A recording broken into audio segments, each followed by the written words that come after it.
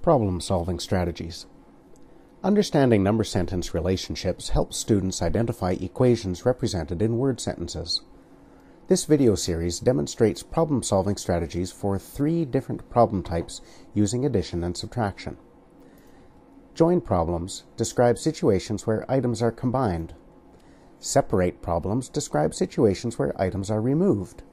Join and separate problems show changes over time. Compare problems, on the other hand, show how items are the same or different.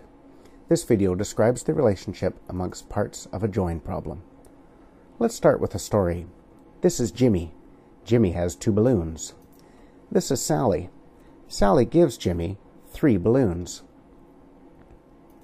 Now, Jimmy has five balloons.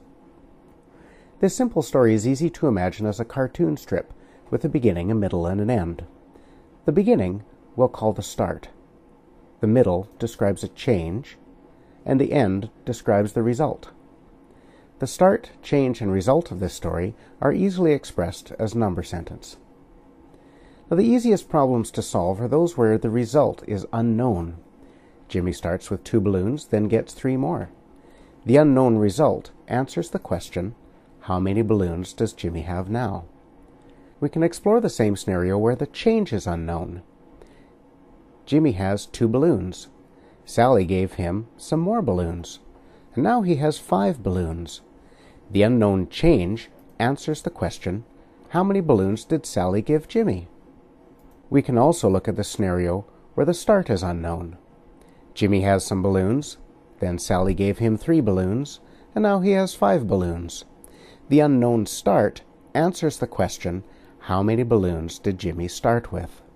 When problem solving with students, practice identifying the problem type. Join with the result unknown, the change unknown, or the start unknown.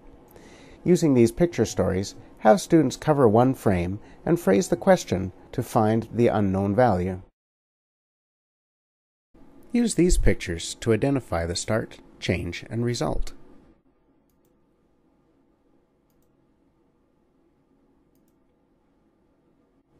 Write a sentence to describe each frame.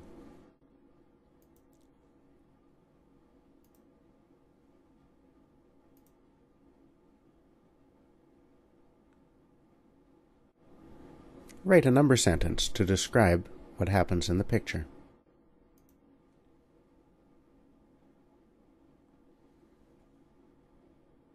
Identify the question asked when one value is unknown.